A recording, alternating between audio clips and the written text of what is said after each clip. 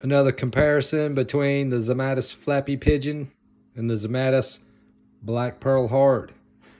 The Flappy Pigeon has a set of Dragon Classic pickups. Very cool. Over here on the Black Pearl Heart, we have a set of Dragon Fire pickups.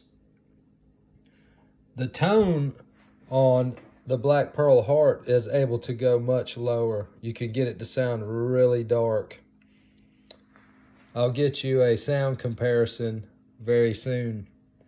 Uh, but two guitars, very similar, both having humbucker pickups, but the different style produces a much different sound.